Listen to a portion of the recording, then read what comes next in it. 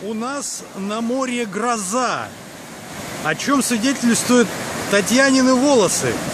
Волосы направлены резко вверх. Это, наверное, какой-то новый прибор. Я такого не знал никогда. Ну вот так вот.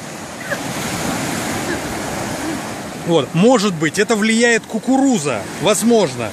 Жареная. Но, но нет, это вот...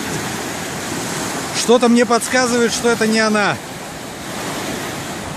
А, Татьяна, скажите, пожалуйста, от чего у вас дыбом волосы встали? Это такой новый шампунь. Вау!